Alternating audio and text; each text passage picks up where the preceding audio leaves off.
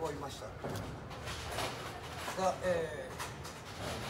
ー、なんだろうね。今までの超花火何回かねあの出してもらって若村君があのボブサップ来た時とかさやらせてもらったりまあ、ただね自分が批判するとかね自分がやるとかがあんまりなかったんであれでしたけどなんかプラズマとか余計なことすっから余計なんか偉いこと思ってたね。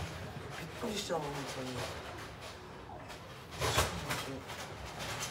まあ、ただでもそれでもそれだけじゃないそれ以外のことなんかあちこちもう傷だらけのあれになってるけど。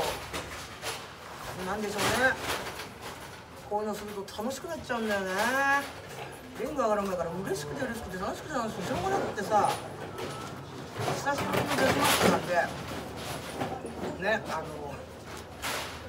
面白いですねやっぱりね楽しいですねあのまあ今日はねちょっと確かにまっちゃんにもここここが勝負どころと思ったから俺ごとこいってたけどなんだろうな多分2人抑えてたけど腹出てる分だけ自分だけが全部左したんだよね。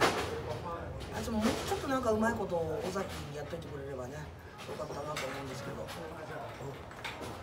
その後のダメージがちょっとあっちいしなんかも一定しっていう感じだけどでもこれで嫌になるかって言ったらなんかねなんかこれでなんか嫌になるっていうかもうこれで終わるのも悔しいしなと思ったらやっぱりもうそれはもうそうだったら所属するしかないよねっていう。所属してあのこれでいろんなこれから出てくる相手にみんなに今度私がこう味わった痛さとか熱さとかをいろんなやつに味わわせてやろうと思って。所属になっていろんなところ回っててあの何でしょうやっぱりあのこれはまあゼロワンさんのコンセプトでもあると思うんでゼロワンさんとあのまあうまいこと組んでね地域のねあの調整ということで地方創生していけたらなと。あのオリンピックだなんだって東京はねわわわわ盛り上がってますけど東京だけがあの東京だけが何でもかんでも見れると思ったら大間違いで逆を返せば裏を返せば超花火見たかったら地方に来いって話なんですよ東京ではやらねえぞとまあせいぜいあのここね川崎ですけどここも東京じゃないわけですから近くても川崎とかそういうとこで他も全部これから基本地方でしかやりませんから何でもかんでも東京のやつが東京で全て見れると思ったら大間違いだからなと、うん、だから逆にあの、そういうふうに超花火どんどんどんどん地方行って地方でしか見れない。地方に行かなければ見れない。だからその大都会に住んでて何でも見れると思うやつらはどんどん地方に来てみやがれこの野郎で地方のやつの方がああいいなこういうのこんな得したなって思えることをどんどんしていきたいなと思いますね。はい。でさっきも言いましたけどアジアコングがやるプロレスは全てもうそれがプロレスなんですよ。あの爆破であろうが何であろうが、えー、普通の試合であろうがそれがあの楽しくちょっとお笑いであろうが何であろうが私がやることは全てプロレスですから。とで私がやってる限りはそのプロレスが正解です。だからみんな黙ってついてこい。あの邪道だ正道だ。そんなもんどうでもいいんですよ。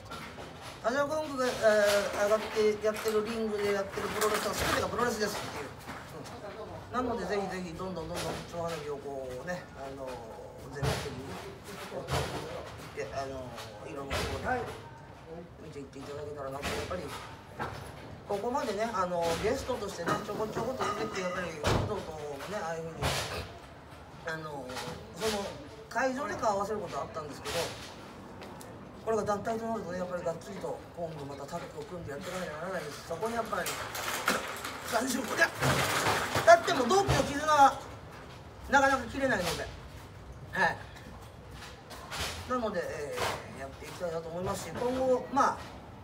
オズとの試合で超花火がかぶった時には面白そうな方に出ます。はい。あのー、オズのカードがとかあれが面白いなと思ったらそっちに出るし超花火の方が面白そうなカードだなと思ったらだからそうすればだってお互いにその切磋琢磨してさいいカード組まなきゃいけないわけでしょ？お客さんにとってどっちが面白いかなっていう。それもアジャコングをかけてどっちの団体も競争すりゃいいと思います。し、面白そうな方にしか出ません、どっちもクソつまんなそうだったらまた全然別の団体出てるかもしれないけど。あのでまたこれね大崎が知らねえだなんだって言いますけど今日言ったからさ今日リングで言ったからあの後であのいろんなとこ見て知ればいいんじゃないでな契約うんぬんだかんぬんだって言うかもしれないけどあのそんなクソくらいだと。あのそんなもんであじゃあ今度縛れると思うなよと。まさか思っちゃいないとは思うけどね、私は自分のやりたいことしかやらないしやりたいようにしかやらないし。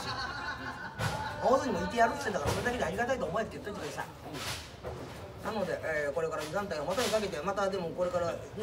他のいろんなところでもいろんなものをいろんな風にやって、えー世界中で楽しいことを楽しいプロレスをやっていきたいと思います。以上でございます。今日は松本がベルトを取ったことは本当にめでたいですけど超花火の所属選手としては一刻も早くあのベルトを取り返したいと思います。以上でございます。